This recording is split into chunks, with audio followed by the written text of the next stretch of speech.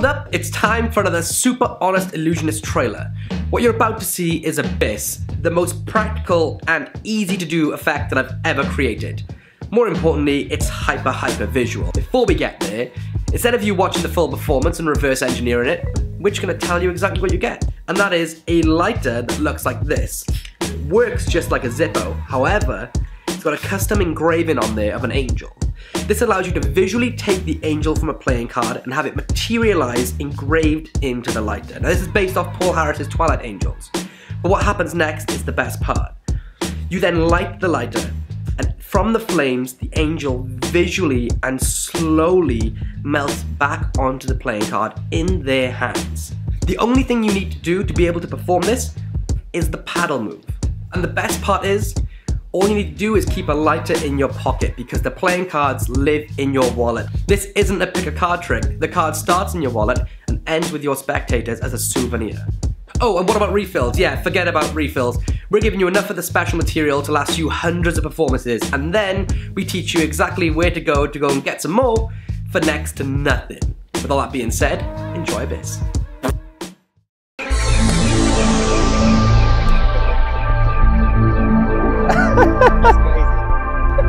Look, feel it, touch it. That's crazy.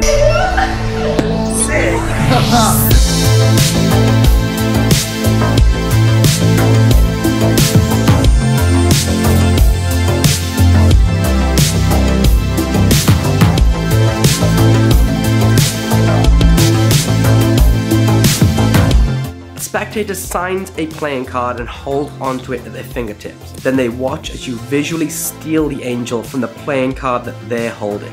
But we take this here and take it off. To so take it like this and take it off.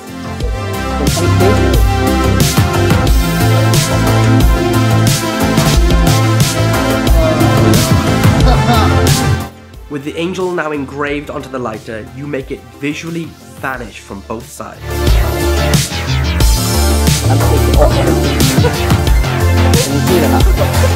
That's crazy, right? What happens next looks like real magic. The angel slowly and visually burns back into reality on the playing card they've been holding onto the entire time. And immediately, they keep that signed card.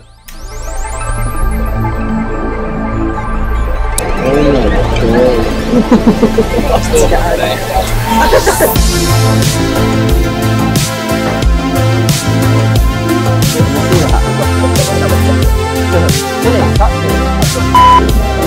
Have you got a pen to sign it?